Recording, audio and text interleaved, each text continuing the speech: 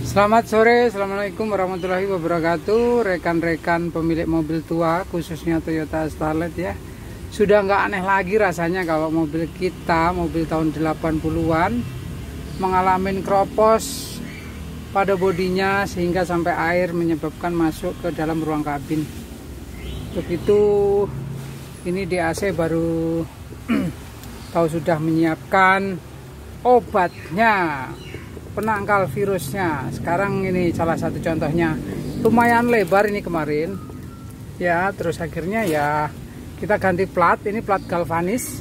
Bisa dibilang plat yang kita pakai ini lebih tebal dari plat aslinya.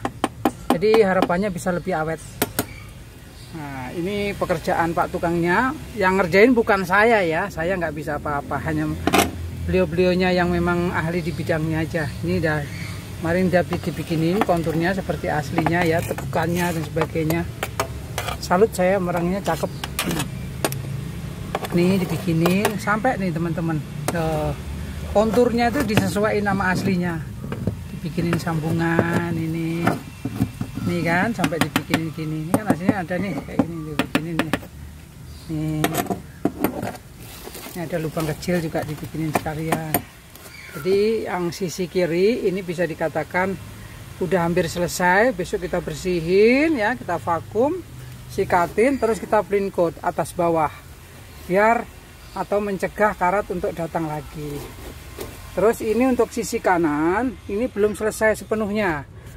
Yang sisi kanan tuh lebih parah teman-teman. Sama seperti sebelah kiri ini dibikinin juga ya. Konturnya dibikinin biar rapi emang udah arah seniman kalau kayak gini ya menurut saya. Sampai ini tadi konturnya dibikinin lagi nih seperti ori. Ya jelas kayak gini kan. Besok lanjut kayak gini.